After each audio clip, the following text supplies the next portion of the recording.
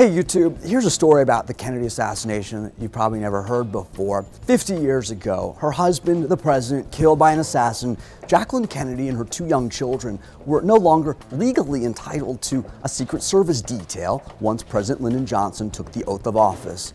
It was a problem Congress quickly addressed with a statute authorizing protection of the Kennedys for the next two years. The policy of guarding presidential widows later became permanent. As the Warren Commission investigation into John F. Kennedy's assassination discovered, the Secret Service's services at that time were in many ways inadequate. Since that fateful day, how has the Secret Service evolved? It's mushroomed in size. The Secret Service had 350 agents when Kennedy was shot in 1963. By 1968, 600 agents. After John Hinckley shot Ronald Reagan in Washington, D.C. in 1981, the agency had 1,500 agents. Now there are around 3,400 special agents. Whom do they protect? It's a long list. Starting in 1965, former presidents, their spouses, and children under 16 years old began to receive Secret Service protection. After JFK's brother, Bobby Kennedy, was assassinated while campaigning for president in 1968, Congress authorized protection with specific limits for presidential and vice presidential candidates and their families.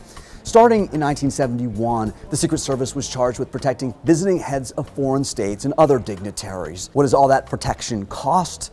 When John F. Kennedy was assassinated, the Secret Service's annual budget was $5.5 million. Last year, $1.7 billion, a 31,000% increase.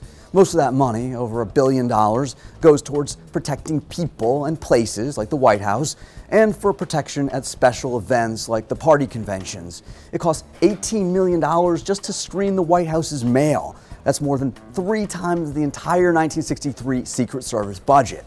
How many people does it take to protect the president?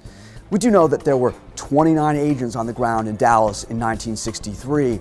A law enforcement source tells the Wall Street Journal that today, 350 special agents are assigned to protect the president. Why so many people? Clues lie in the Warren Report from 1964. The Secret Service, indeed the president himself, were aware of the potential danger posed by a gunman firing from a building. But the agency at the time did little about it. The report reads The justification for the Secret Service's standing policy is not persuasive. The Kennedy assassination made ignoring a conceivable threat inconceivable. That's the short answer. Do you think the Secret Service has grown too big, its budget too large? Share your thoughts in the comment section and please also subscribe to The Short Answer. Love to hear what you think and thanks for watching. I'm Jason Bellini.